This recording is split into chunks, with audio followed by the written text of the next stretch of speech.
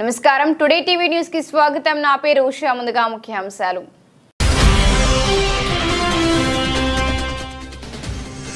ఆంధ్రప్రదేశ్ రాష్ట్ర మంత్రివర్గ సమావేశం అనంతరం మంత్రివర్గం తీసుకున్న నిర్ణయాలను మీడియాతో వివరించిన మంత్రి పెర్ని నాని.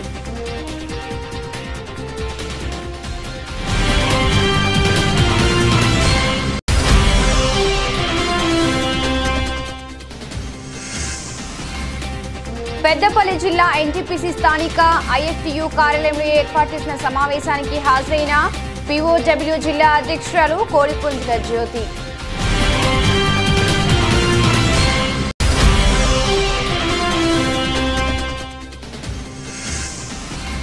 నెల్లూరు రూరల్ జిల్లాలో ముస్లిం మైనార్టీలు చేస్తున్న దీక్షకు మద్దతు పలికిన నెల్లూరు రూరల్ శాసనసభ్యులు కోటమిరెడ్డి శ్రీధర్ రెడ్డి.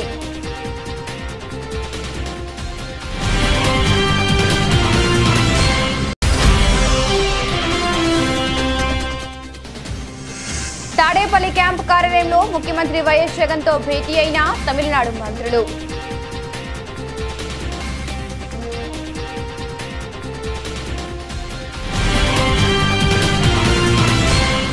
వైఎస్ఆర్ కాంగ్రెస్ పార్టీ తాడేపల్లి కేంద్ర కార్యాలయంలో ఇరిగేషన్ శాఖ మంత్రి అనిల్ కుమార్ యాదవ్ మీడియాతో మాట్లాడుతూ బీసీలకు తెలుగుదేశం పార్టీ అన్యాయం చేసిందని బీసీలపై ప్రేమ ఉన్నట్టు చంద్రబాబు నాయుడు తెలుగుదేశం పార్టీ నేతలు చేస్తున్న వ్యాఖ్యలు సిగ్గుమరణ చర్య భావిస్తారని అన్నారు. ఏదైతే స్థానిక సంస్థల ఎన్నికల సంబంధించి నువ్వు ఏదైతే ఎన్నికలు జరపకుండా స్పెషల్ ఆఫీసర్స్ని నియమించావో దానికి సంబంధించి కొందరు కోర్టుకు వెళితే ఇది నువ్వు వేసిన అఫిడవిట్. సాక్షాత్తు రెండు వేల పద్దెనిమిది సెప్టెంబర్లో సెప్టెంబర్ రెండు వేల పద్దెనిమిదిలో మీ పంచాయతీరాజ్ తరపున నుంచి మీ ప్రభుత్వం వేసిన అఫిడవిటే చదువుతా ఇను. ఒకసారి నేను చెప్పింది అర్థం కాకపోతే ఎవరి చేతనా ట్రాన్స్లేట్ అన్నా చేయించుకో నేను. మీరే వేసిన అఫిడవిటే. ఆయన అప్పుడు ఒక అఫిడవిట్లో ఒక ప్రధానమైన పాయింట్స్ ఆ అఫిడవిట్లో వేశారు. అఫిడవిట్ అంటే ఏంటి? ప్రభుత్వం తరపు నుంచి ఒక ఏదైతే ఒక నిజాన్ని తెలియజేసేది మీ తరపు నుంచి మీ వాదన తెలియజేసేది మీ అఫిడవిట్ దాంట్లో ఏం రాశారు? The other judgement with regard to restriction on quantum of vertical reservation for SCs, STs and BCs shall not exceed 50% may be also be applied to Andhra Pradesh as it is a judgment delivered by the Common High Court for both the states of at Hyderabad and the total quantum of reservation is exceeding 50% in Andhra Pradesh అంటే ఏదైతే అప్పట్లో తెలంగాణకి ఇచ్చింది judgement high court ఏదైతే Telangana judgement ఇచ్చిందో అది అప్పుడు common high court కాబట్టి అది మహారాష్ట్రానికి కూడా వర్తిస్తుంది ఆంధ్రప్రదేశ్ రాష్ట్రానికి కూడా వస్తుంది తెలంగాణకే కాదని చెప్పి నువ్వు ఒక వాదన వినిపించావు. రెండో వాదన ఏదైతే రెండు వేల పదకొండు రెండు వేల పన్నెండులో ఏదైతే హైకోర్టు ఫిఫ్టీ పర్సెంట్ ఇచ్చిన తర్వాత రెండు వేల పదమూడులో సంబంధించి సుప్రీంకోర్టుకి వేస్తే ఏదైతే దానికి సంబంధించి అగెయిన్స్ట్గా స్టేట్ గవర్నమెంట్ సుప్రీంకోర్టుకి వెళ్తే ఆ రోజున్న సుప్రీంకోర్టు అప్పుడు ఇంటర్వ్యూమ్ ఆర్డర్స్ ఇచ్చింది.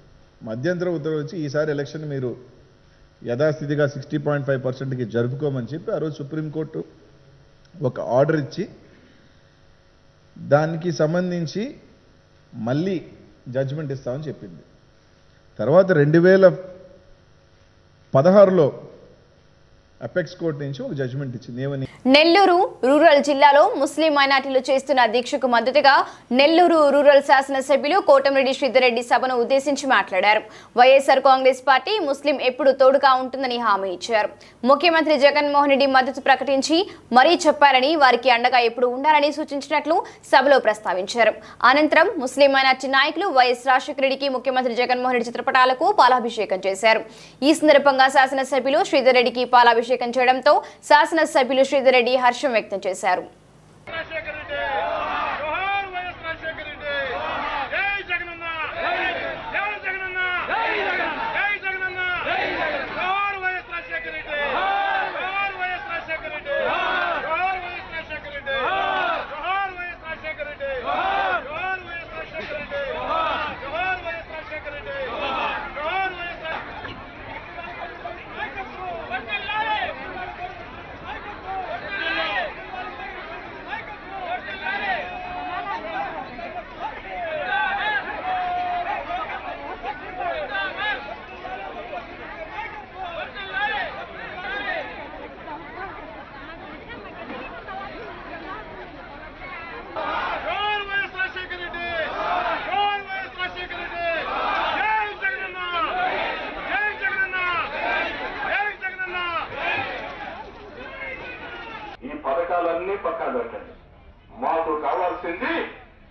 పిఆర్సి ఎన్పిఆర్కి వ్యతిరేకంగా రాష్ట్ర శాసనసభలో తీర్మానం చేసి తీరాలా? జగనన్న చెప్పి తీర్మానం చేయించండి మేము భయాందోళనాలు చెప్తే నాకు బాధ కలిగింది ఆందోళన కలిగింది ఆ క్షణం అక్కడే నిర్ణయం తీసుకున్నా ఎందుకంటే ఎమ్మెల్యే పదవులు వస్తూ ఉంటాయి పోతూ ఉంటాయి రాజకీయ నాయకత్వాలు వస్తూ ఉంటాయి పోతూ ఉంటాయి మంత్రి పదవులు వస్తూ ఉంటాయి పోతూ ఉంటాయి కానీ ఏ ప్రభుత్వంలోనైనా ఓ మతమో ఓ కులమో అందరి సమస్యమ్మా మీరందరూ కలిసి వచ్చారు హిందూ ముస్లిం క్రైస్తవులతో మొత్తం కలిపి ఇది వస్తుంది. చిట్ట చివరగా నా మాటలు ముగించే ముందు నేను ఒకటే మాట చెప్తున్నాను రెండు మాటలు చెప్తున్నాను ఒకటి ఒక మంచి ప్రజా ఉద్యమంలోకి నన్ను తీసుకొని వచ్చి నన్ను నడిపించినటువంటి గాంధీనగర్ ముస్లిం అక్క నా అమ్మ వయసుండే అమ్మలకి ఎప్పటికీ మర్చిపోలేనని గాంధీనగర్ నాయకులకు మనవి చేస్తూ ఉన్నా. ఒక్కసారి నన్ను వాళ్ళ దగ్గరికి తీసుకెళ్ళి వాళ్ళెవరో కూడా నాకు తెలియదమ్మా మీటింగ్కి వచ్చారు వస్తుంటారు ఒక్కసారి నేను నేరుగా వాళ్ళ ఇళ్ళకి వెళ్ళి ధన్యవాదాలు తెలియచేయాలా? దానికి ఏర్పాట్లు చేయాలని కోరుకుంటూ అమరావతి రాజధాని వెలగపూడి సచివాలయంలో మంత్రివర్గ సమావేశం నిర్వహించారు. జాతీయ జనాభా పట్టిక ఎన్ఆర్పి పై రాష్ట్ర మంత్రివర్గంలో కీలక నిర్ణయం తీసుకుంది. ఎన్ఆర్పిలో కొత్తగా చేర్చిన తల్లిదండ్రుల పట్టిక తేదీ ప్రదేశం మాతృభాష వంటి ప్రశ్నలు రాష్ట్రంలో మైనార్టీ వర్గాల ప్రజల్లో తీవ్ర భయాందోళన రేకెత్తిస్తున్నాయని పేర్కొంది. రెండు వేల పది నాటికి ప్రశ్నావళికే పరిమితం కావాలని కేంద్ర ప్రభుత్వాన్ని కోరుతూ తీర్మానం చేసింది. ఉగాదికి పేదలకు ఇరవై ఆరు లక్షల ఇళ్ళ స్థలాలు పంపిణీ చేయాలని మొత్తం నలభై మూడు వేల నూట నలభై ఒక్క ఎకరాలు పంపిణీ సిద్ధం. దానిలో ప్రభుత్వ భూమి ఇరవై నాలుగు వేల తొమ్మిది వందల డెబ్బై ఆరు ఎకరాలు ప్రైవేట్ భూమి పదహారు వేల నూట అరవై నాలుగు ఎకరాలను నేలను చదును చేసి గ్రావెల్ రోడ్లు వేసి సరిహద్దు రాళ్ళు పాతి పేదలకు ఇళ్ళ స్థలాలు పంపిణీ చేయాలని ధ్యేయంగా నిర్ణయం తీసుకుంది.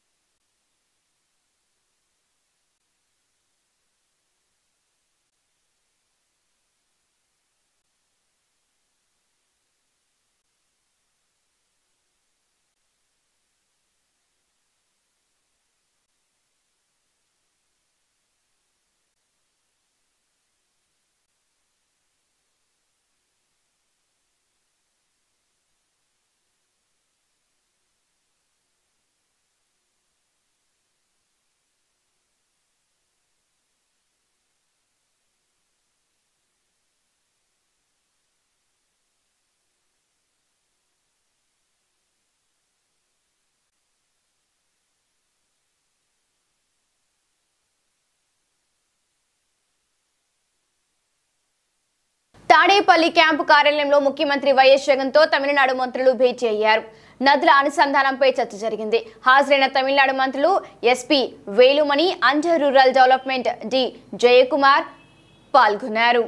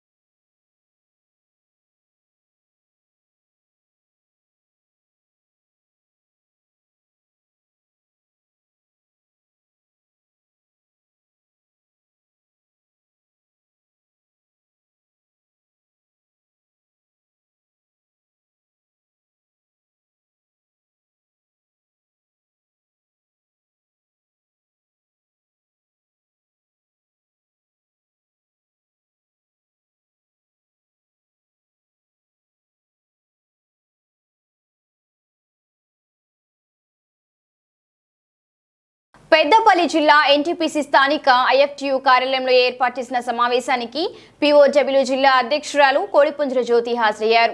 ఈ సందర్భంగా జ్యోతి మాట్లాడుతూ ఎనిమిదవ తేదీన ఎఫ్సిఐ గౌతమ్ నగర్లోని ప్రజా పాఠశాలలో ప్రగతిశీల మహిళా సంఘం ఆధ్వర్యంలో సదస్సుకు మహిళలు అధిక సంఖ్యలో పాల్గొని విజయవంతం చేయాలని పిలుపునిచ్చారు.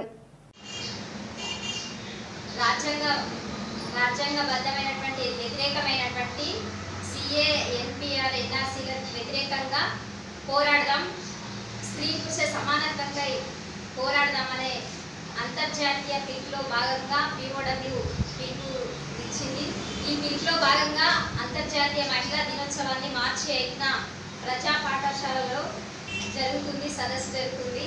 ఈ సదస్సులో కూడా అధిక సంఖ్యలో మహిళలు పాల్గొని విజయవంతం చేయాలని చెప్పేసి కోరుతూ అదేవిధంగా మహిళలు ఇవాళ సమాజంలో సగభాగమైనటువంటి మహిళలు అణచివేతకు గురవుతున్నారు గృహహింస గుర గురవుతున్నారు. మరి ఆత్మహత్యలకు అత్యాచారాలకు గురవుతున్నారు. ఈ నేపథ్యంలో అంతర్జాతీయ మహిళా దినోత్సవం జరగబోతుంది.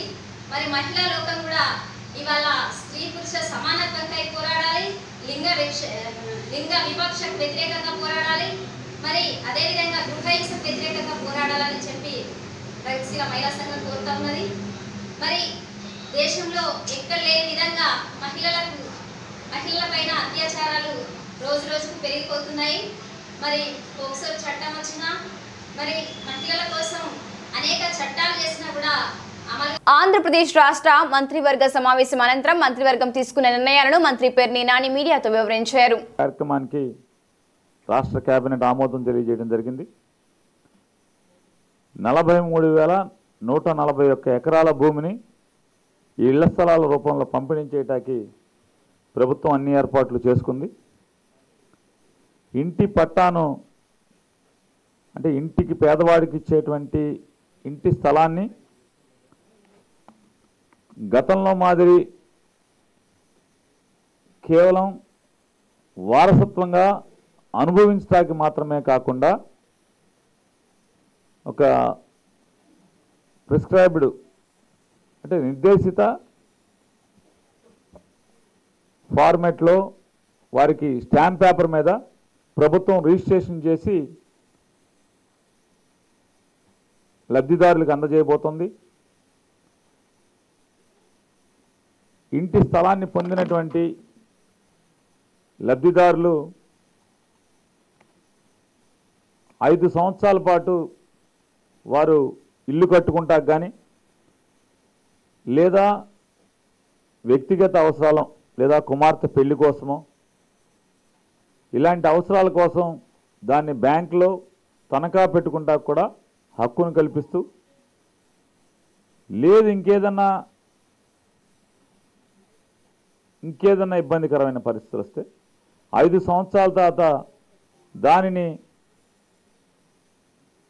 అమ్ముకుంటాకి అంటే అమ్మకం చేయటాకి లీగల్ ఎంటైటిల్మెంట్ కూడా ఇస్తూ హక్కు కల్పిస్తూ పటా ఇవ్వబోతుంది.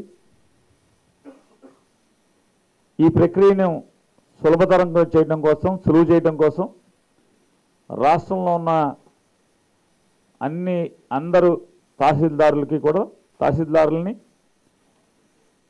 assistant registrar designation joint joint sub registrar designation వారికి ఇస్తూ ప్రత్యేకమైనటువంటి ఈ అవసరం కోసం ఎంఆర్ఓ ఆఫీస్నే జాయింట్ సబ్ రిజిస్టార్ కార్యాలయంగా కూడా గుర్తించడం అనేది ప్రభుత్వం ఇప్పటికే చర్యలు తీసుకోవడం జరిగింది. దీనిలో ఇరవై ఆరు వేల తొమ్మిది వందల డెబ్బై ఎకరా డెబ్బై ఆరు ఎకరాల ప్రభుత్వ భూమి ఏదైతే నేను చెప్పినటువంటి నలభై మూడు వేల నూట నలభై ఒక్క ఎకరాల్లో ఇరవై ఆరు వేల తొమ్మిది వందల డెబ్బై ఆరు ఎకరాల ప్రభుత్వ భూమి పదహారు వేల నూట అరవై నాలుగు ఎకరాల ప్రైవేటు భూమిని వ్యక్తుల దగ్గర కొనుగోలు చేసి ఇళ్ళ స్థలాలు ఇవ్వటం కోసం ప్రభుత్వం సిద్ధం చేసింది. అలాగే యుద్ధ ప్రాతిపాదికన కృష్ణా జిల్లా మచిలీపట్నంలోని దిశ పోలీస్ స్టేషన్లో ఏర్పాటు చేసిన విలేకరుల సమావేశంలో రాష్ట్ర హోంమంత్రి మేకతోటి సుచరిత మాట్లాడారు. నాయకత్వం.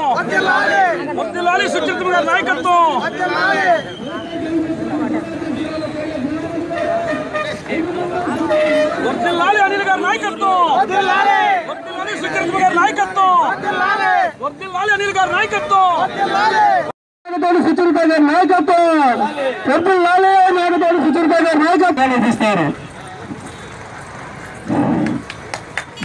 జవహర్ డాక్టర్ బిఆర్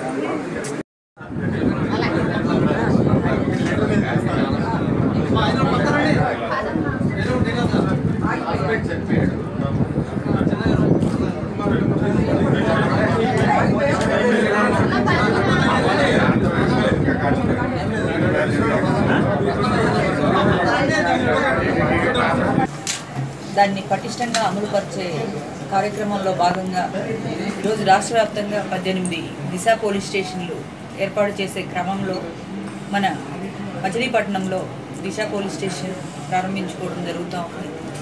అంతేకాకుండా రాష్ట్ర వ్యాప్తంగా త్వరితగతిన police stations Disha police stations పూర్తి చేసి దానికి కావాల్సినటువంటి సిబ్బందిని ప్రత్యేక దర్యాప్తు బృందాలను ఇవ్వడమే కాకుండా దిశ పోలీస్ స్టేషన్లో ఎవరైతే పనిచేస్తున్నారో ఆ సిబ్బందికి ప్రత్యేకంగా థర్టీ పర్సెంట్ శాలరీని ఇంటెన్సివ్ కింద ఇవ్వడం జరుగుతూ ఉంది. అదే కాకుండా మనకు దర్యాప్తు వేగవంతంగా చేయడానికి ప్రతి స్టేషన్కి కూడా ఒక లక్ష రూపాయలు నిధులు కూడా కేటాయించడం జరుగుతూ ఉంది. అంతేకాకుండా మూడు ఫారెన్సిక్ ల్యాబొరేటరీస్ ఏర్పాటు చేసే దిశగా మనకు తిరుపతిలో విశాఖపట్నంలో అదేవిధంగా విజయవాడలో ఏర్పాటు చేయబోతా ఉన్నాం. దానికి కావాల్సినటువంటి సిబ్బంది నూట పద్దెనిమిది మందిని రిక్రూట్ చేసేదానికి కూడా మనం నోటిఫికేషన్ ఇవ్వడం జరిగింది. అంతేకాకుండా ప్రతి జిల్లాకు ఒక ప్రత్యేక న్యాయస్థానం ఒక స్పెషల్ పబ్లిక్ ప్రాసిక్యూటర్ ఏర్పాటు చేసే వైఎస్ఆర్ కాంగ్రెస్ పార్టీ కేంద్ర కార్యాలయంలో చిత్తూరు జిల్లా నగరి శాసనసభ్యులు ఆర్కే రోజా మీడియాతో మాట్లాడుతూ తెలుగుదేశం పార్టీ అధికారం కోల్పోయిన తర్వాత ఆ పార్టీ అధినేత నారా చంద్రబాబు నాయుడికి టీడీపీ నేతలకు మతి భ్రమించిందని తీవ్రంగా విమర్శించారు. జగన్మోహన్ రెడ్డి గారు మహిళల పసుపు కుంకాల గురించి ఆలోచిస్తున్నాడు. అందుకే ఈరోజు మీరు చూస్తే ఆయన పెద్ద మనసుతో మహిళల గురించి ఎన్ని కార్యక్రమాలు చేస్తున్నారో మనం చూస్తున్నాం. అలాంటి అంత మంచి వ్యక్తి గురించి మీరు విమర్శ చేయటం అనేది దుర్మార్గం. మీరు మీ యొక్క ప్రభుత్వంలో చంద్రబాబు నాయుడు గత ఐదేళ్ళలో మద్యాన్ని ఎలా ఏర్లై పారించారో మనం చూసాం. ఎంత సిగ్గుచేటంటే ఒక ముఖ్యమంత్రికి ఒక సంతకం చేస్తే ఆ సంతకం ఒక ఐఎస్ఐ ముద్రలాగా ఉండాలి. రాజశేఖర రెడ్డి గారి సంతకాలు మనం చూసాం. రైతులకి ఫ్రీ కరెంట్ సంతకం చేసిన నిమిషం నుంచి అది అమల్లోకి వచ్చింది.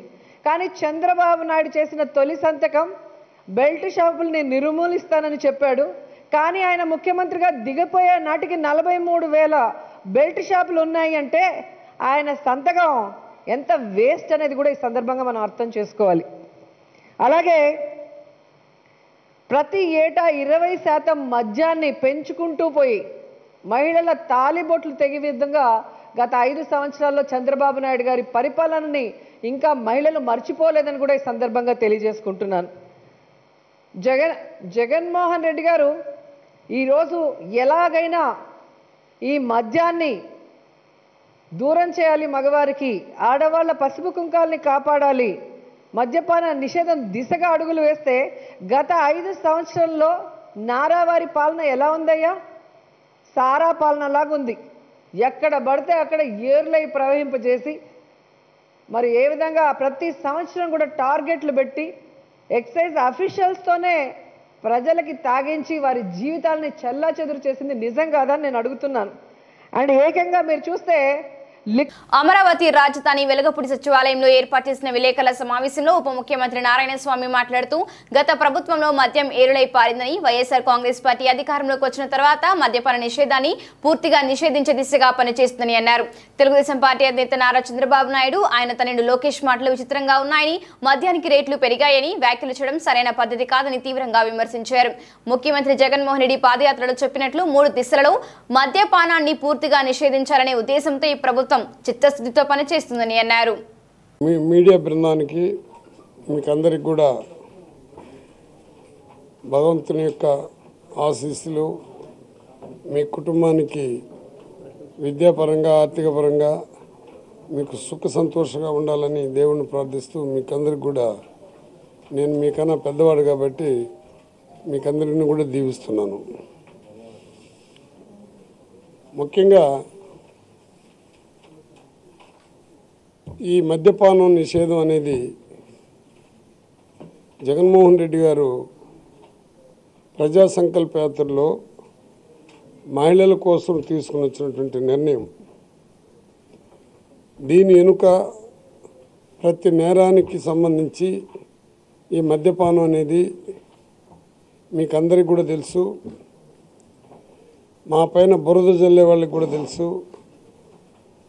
ప్రతి నేరానికి ఇది ఒక కారణంగా ఉంది.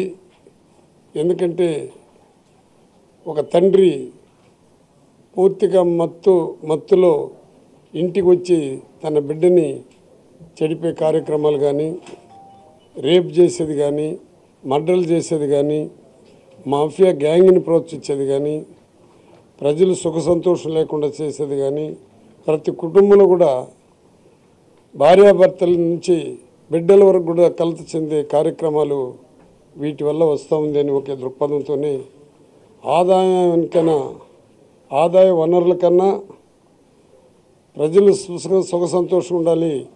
మహిళా తల్లులందరూ కూడా బాగా ఉండాలని ఒక ఉద్దేశంతో ఈ యొక్క మద్యపాన నిషేధాన్ని దశల వారుగా అమలు చేస్తుంటే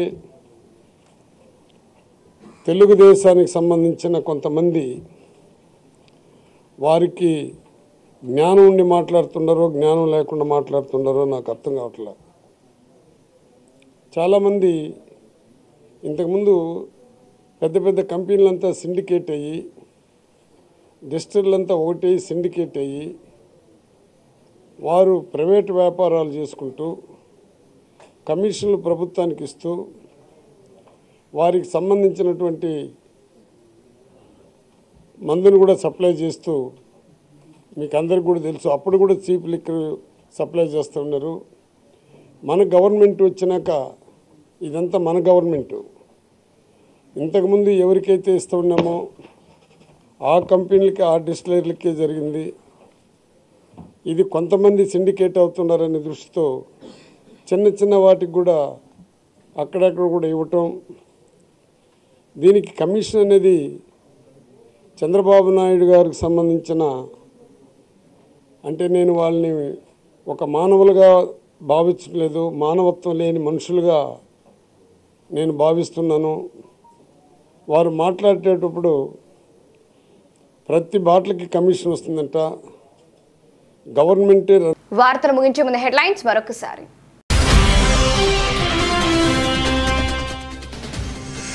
ఆంధ్రప్రదేశ్ రాష్ట్ర మంత్రివర్గ సమావేశం అనంతరం మంత్రివర్గం తీసుకున్న నిర్ణయాలను మీడియాతో వివరించిన మంత్రి పెర్ని నాని.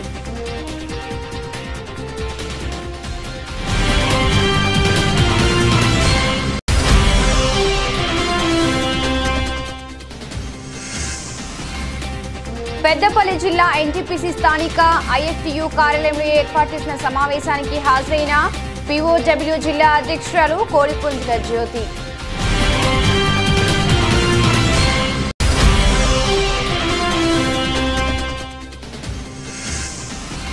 నెల్లూరు రూరల్ జిల్లాలో ముస్లిం మైనార్టీలు చేస్తున్న దీక్షకు మద్దతు పలికిన నెల్లూరు రూరల్ శాసనసభ్యులు కోటమిరెడ్డి శ్రీధర్ రెడ్డి.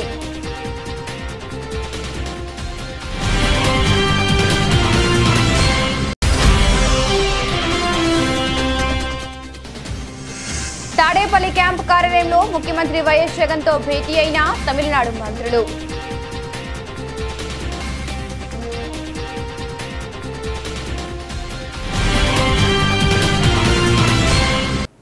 ఇది వాళ్ళ బులెటిన్ మరొక బులెటిన్లో మళ్ళీ కలుద్దాం. అంతవరకు సెలవు నమస్కారం.